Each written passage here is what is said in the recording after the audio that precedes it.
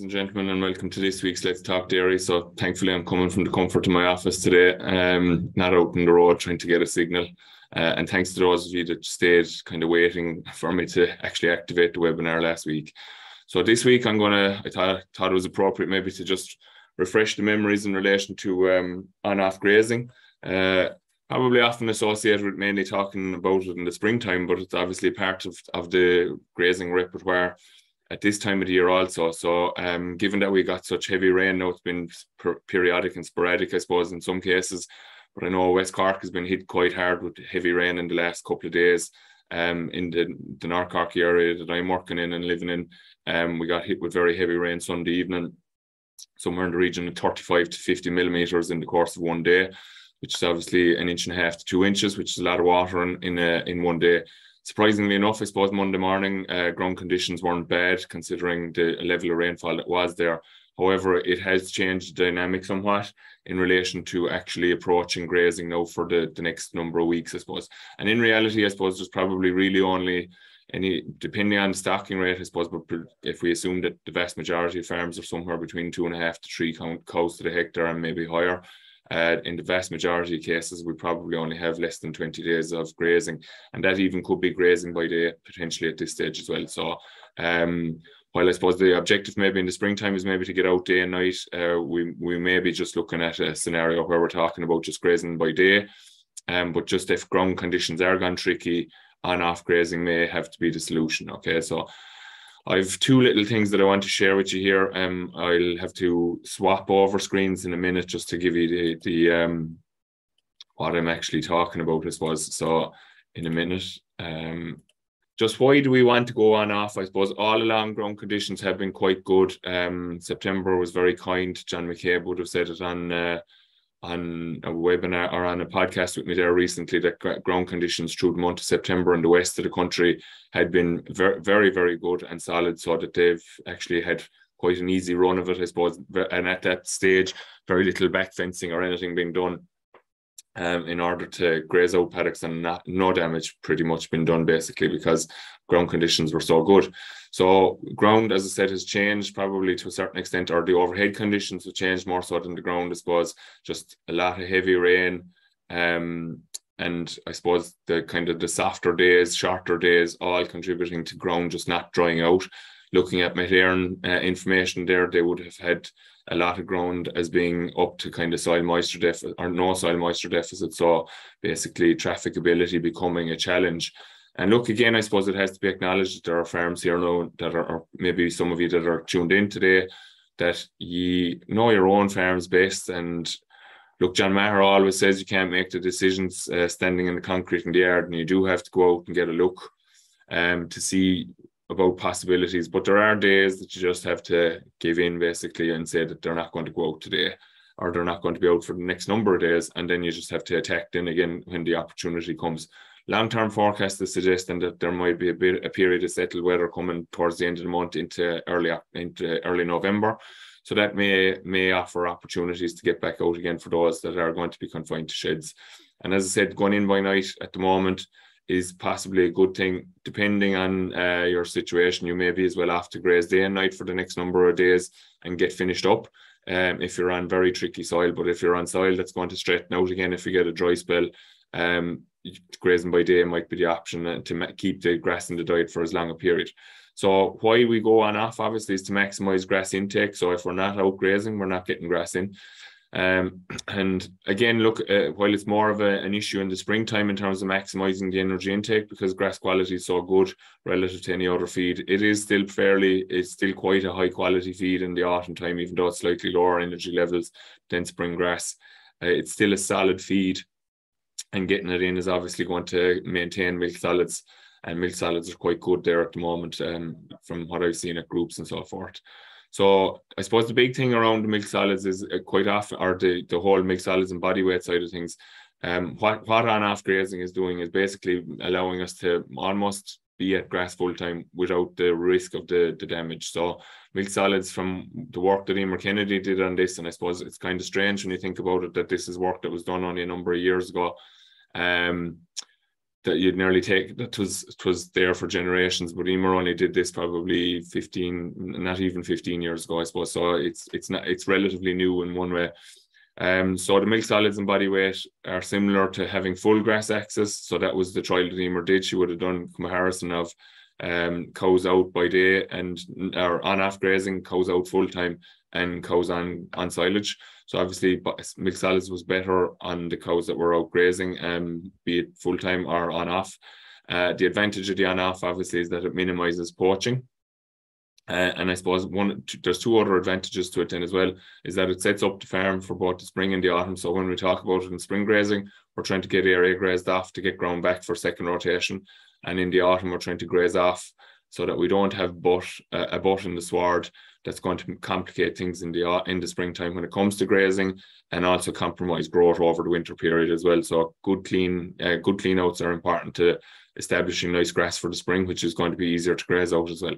So that's the the rationale for why we should switch to it when the weather becomes tricky. Cows out of the shed obviously then is a big advantage, and everybody um, likes to try and get that uh, likes that scenario, I suppose, because there's less work around cubicles and I saw a very interesting um, figure there recently from a person that has a cubicle cleaner. The number of hours that were on the cubicle cleaner from just one winter uh, is, is quite startling in terms of the amount of work that goes into keeping cubicles uh, right. And if I suppose if we take it in the context that those cubicle cleaners are actually minimizing the time that's spent at cubicles, for that person, it would actually indicate that the amount of time being spent at cubicles is quite uh, substantial, and we probably don't give it the thought in terms of the time that is going into it. So it's a, a time saver, I suppose, when you can get cows out of the shade. Maybe cubicles only have to be done once a day, maybe. So it's an advantage in that sense. Uh, and it's also obviously better for cows that they're out and about, I suppose, rather than being in the shed because they'll be in the sheds long enough, really, I suppose, when you think about it.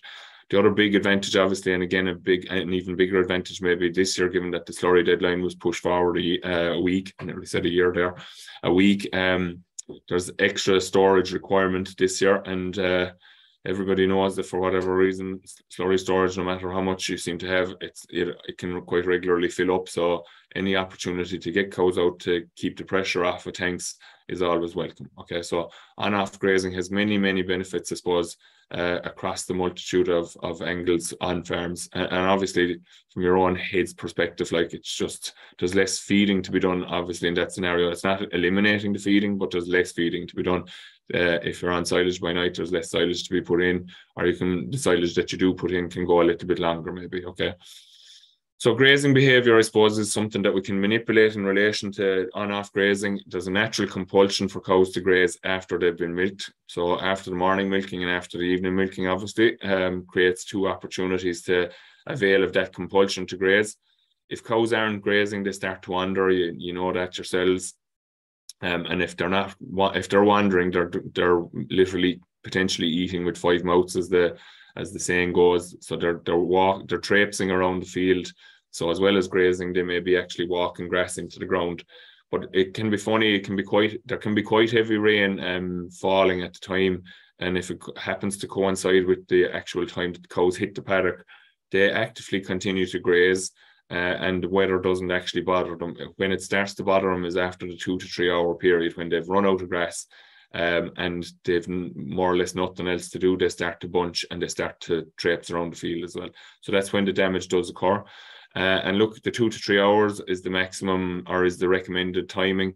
And I think in reality, people probably need to be looking at the likes of the backlatch and so forth to make sure that it is a two to three hour bout with the best will in the world. Um, time slips away. I know people often let off cows there to get them out in the mornings and go back maybe cleaning up, washing up the parlour, etc., etc. Very quickly, you'd see between washing up and washing out parlours and so forth, an hour could slip by there. You throw in on top of that, then maybe going for breakfast, etc. Maybe have to run into town for some one uh, an item or one thing or another, and next thing very quickly you're gone over the three hour bout.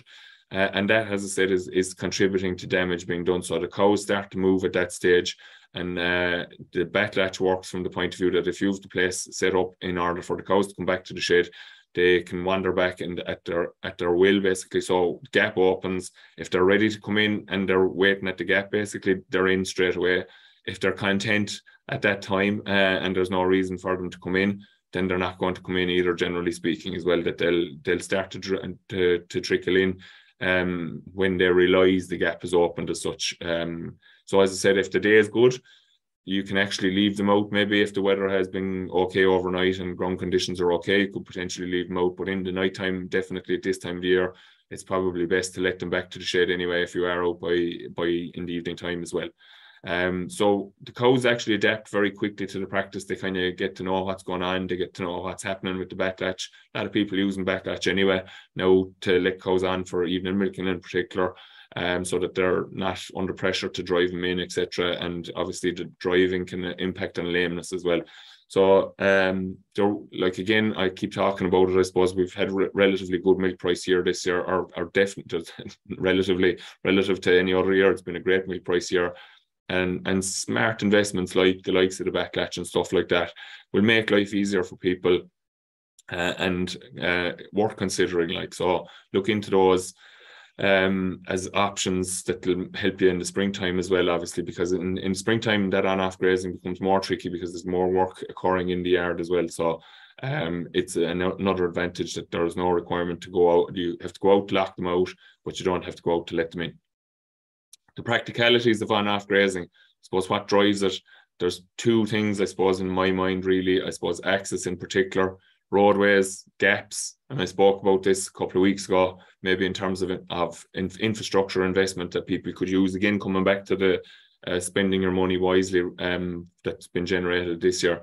So roadways, uh, spur roadways, I suppose in particular, um, a lot of farms have have a, a, network of roads anyway, but it's actually accessing ground. And I suppose what's really interesting from my perspective is on a farm on Monday, they're not too far away here from Moorepark, very dry bit of ground, good operator. Um, as I said, dry dry farm, but there's four or five spur roads on that very dry farm. Um, so some people often think that this uh, these spur roads are associated with heavy soils or more tricky soils, but in this context, we have a, a very dry farm that's very focused on getting grass into cows um, early in the year and late in the year, uh, using spur roads, which is li- literally heaped mounds of stone, so just ra- roads raised up slightly above the field temporary wire, um, actually grassed over because the group that was there actually didn't even spot some of them uh, as we were going around. And then gap handles as well, so multiple options um, in terms of access to paddocks. So uh, as I said, they, they could be along the those spur roadways or even just off the main roads as well. That there's multiple options to let cows in. Again, that's just to avoid overuse of any one particular access. Now, some cases because of ditches and dikes and so forth, it can be, um, it may not be an option. Um, but it, it's uh, it's something that people need to consider. And the other thing that's very important to consider, and I'll show it to you in a second, and I need to switch um, switch slides here in a sec, uh, is that cow's natural compulsion again, and it's logical, is to go out the gap that's nearest to the milking parlour. So it, it's something that you need to bear in mind. And the other thing is that when you're on off grazing, especially in the evening time, make sure that the access point out of that paddock is easy to get to. So again, it sticks in my mind. John Galvin, farmer monitor farmer on the Dairygold Joint program a number of years ago down in Dunmanway. Um, he just explained his way of doing on off grazing. And uh, he always put the cows at a grazing that was close to the front of the paddock, basically. So they were just off the roadway in an evening grazing or if if he was in a paddock that was tricky to get out of. So he he didn't have cows going in over a cow road, which again, as I said, I'll show you in a minute. Um, and that they were trying to come out a narrow access point in the dark, uh, or maybe just in the dusk, maybe late in the evening. He made it such that it was full access um, into the paddock and full access out of it. So they might have been going in at the end of the paddock and coming out at the gap nearest to the milking parlour. Then afterwards, and obviously they'd full run out and they weren't pushing and shoving and trying to crowd in and maybe obviously in the dark potential is that a fence will get knocked and then you have uh, a problem trying to uh, figure out wh- where cows are some cows coming in some cows getting stuck outside of the wire that kind of scenario. The other thing I suppose that's important when we switch to the on off and look, Martina Gormley's talking all the time about trying to pull back milking times as much as possible to finish the working day in reasonable time don't uh, don't be milking too late in the evening if you're going to go on off grazing. And I suppose if you are milking late in the evening, it just is off putting from the point of view of grazing because it means that you're um, going to be maybe coming back to let cows back in. But as I said, backlatch can do a lot of that for you anyway as well. But uh, ideally, just don't be milking too late in the evening because if you're going for two or three hour bouts, cows going out at five, they're back in by eight. Cows going out at eight aren't going to be back until eleven, and that's just extending the day very long. If if you are going to be going to the yard to check on cows or anything like that.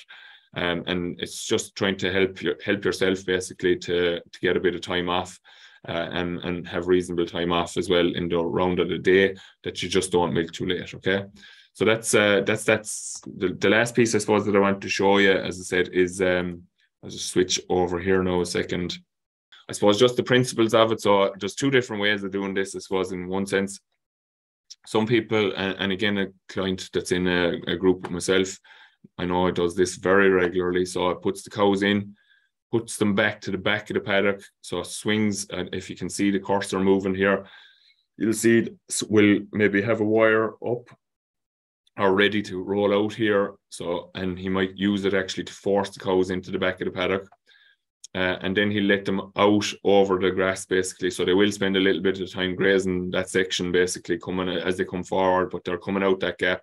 Next grazing, they go in here um, into the centre, back fenced to stop them getting the access there, and uh, the fence here to stop them grazing too much. And again, out this gap, and then the last grazing, they're going in at the front and uh, coming out again at the corner here. Reason for that is that obviously grazed ground is more vulnerable to damage than uh, ground that has grass on it. So by walking them in over it, and, and look, it's important probably here that roadways are good and clean here as well. Uh, so that by the time the cows hit the paddock there, that they're not going to actually be dragging a lot of muck and dirt in over grass, which will uh, result in a lot of refusals there. I suppose the, the cleaner way, in one sense, um, is to do the cow walk. So you create the maybe one to two meter wide uh, passageway down along and graze um, either from the back if you wanted to, or from the front. You can do either or here because you're accessing uh, in and out off the cow roadway. Again, it's very important to point out that the farmyard in these examples is to the right uh, and that the access point is nearest to the farmyard. So if you're going to have an access point here, it's going to be very difficult to get the cows if your farmyard is off to the right hand side to go back to this point and actually come out a roadway here. They're going to actually naturally gather at this side here uh, because their compulsion is to head for the farmyard and their geography is telling them that this is the side of the paddock they need to be at it for, for that to happen. Uh, and if you have cows in a scenario where they're in a paddock in in the dusk or the dark, which is now ca- the case in the morning actually as well as the evening, they're going to be gathered here. They're not going to find their way out of this kind of a situation. So, as I said, referencing John Galvin's uh, approach to it there, he would make sure that basically at, in an evening time grazing that the cows are going to be in this scenario here so that they can just get out that gap straight away and back into the yard. So um, I think I actually I glossed over the water piece there a second ago. So I look, um, I suppose in February water isn't a huge issue because cows aren't producing a lot of milk, and you could maybe make the argument that cows um, aren't producing dramatic amounts of milk either now at this stage. And if they are on three-hour bouts, that they will have access to water or they should have access to water while in the in the shade anyway that before maybe coming out uh, and also then that they'll have access when they go back in again so if they don't have access to grass or sorry to water um, during the course of that grazing bout uh, it may be not the end of the world. I suppose if you can make it in such a way that they do have access, it it is useful. I suppose the problem is if they're traipsing back and over to a water track again, going up, maybe going over grazed ground, the potential is that they're going to start to do damage in that area. Uh, some see I I probably I've seen several different options where people may be using mobile tankers um, that they have on a quad, maybe that they move along uh, to give the water source to the cows. I've seen uh, kind of a, an 200 litre barrel converted into a water trough that's on a sleigh basically that's again been pulled with the quad around the place. Um, so there are look, there's some great ideas out there. I suppose there's nothing um, spectacular, I suppose, um, that I've seen yet, and, and there is work in that. Um, so I suppose maybe longer term again, people may be thinking of opportunities to put in extra water troughs in different places to increase capacity for for on-off grazing um, at the shoulders of the year. Uh, and I suppose the other thing then, the final piece is that cows obviously need to have a, a desire to graze. And as I said, the natural compulsion is to graze if they are uh, just after being milked. However, if they've had access to silage for long periods of time uh, prior to grazing, then obviously they have quite that, the kind of, the, I suppose, the fullness of their stomachs is probably uh, they're busy ruminating on the silage that's in their stomachs so that they don't actually uh, want to graze as much. And again, the, the capacity is there that they will start to traipse at that stage again. So just, I suppose, if you're on off grazing during the day, um, obviously not having access to silage early in the morning before they go out, um, or maybe just before milking either that they've run out of silage from maybe two or three o'clock in the morning that they're they're keen and, and looking for um, grass when they do go out not hungry that's important that they're not hungry we're, we're just, just trying to create the edge on their appetite basically so that they want to eat. I suppose it's no different to uh, ourselves if we're after eating something already and somebody offers you more food you have less compulsion than if you're um, if you're not after eating at all so um, again, just try trying to get that right. Maybe it can there can be a little bit of trial and error in it. And again, just the methods that people are employing to stop cows getting access. A lot of people may be using uh, head rail spaces for maybe cows standing while they're waiting to go out and so forth. Simple enough little things like um, lockable barrier or well, lockable barriers are the expensive option. I suppose I've, we've seen a couple of very simple uh, approaches, maybe just one length of of uh, bar basically dropping down across the feed barrier to stop cows uh, getting access out. I've seen feed barriers that are turning down as well that lock out or stop cows reaching out to silage. And then I suppose the the less uh, appealing option is probably pulling back that silage, having something that you can use to pull back the silage to, so that they can't access it. So I would say um, ways of stopping cows getting access to the silage um, after milking if they're waiting to go out it would be important in terms of contributing to active grazing behavior post uh, um, release to the field. Okay. So again, look, it's uh, as I said, it's it's only for a couple of days. Probably, as I said, there's there's hardly a month in this now. I would say most people are going to have to have the farm closed by seventh or the fifteenth of, of November to make sure that they have adequate grass for the springtime. So there's there's maybe only what 10, 11 days left in the month, maximum 15. So there's about a month. And as I said, to maximize the amount of grass in the diet for the longest period of time, it may be worth considering going in by night anyway to stretch out what grass is left uh, and as I said, also, then I suppose counter argument to that is if you're on heavier soils, and as I said, John McCabe said it on a podcast recently that there are heavier farms up in the Western Territory that uh, will actually go hell for leather now to graze off the farm before the end of the month because uh, bonus territory would be November. If they can get some grazings in in November, well and good, but they want to get the farm cleaned off in the month of October as much as possible to have it set up for, for spring grazing. So just uh, as I said, that's a, a, kind of a refresher in relation to the uh, on-off grazing uh, and how it uh, applies for autumn uh, grazing. Thanks for tuning in today, and we look forward to talking to you next week. Thank you.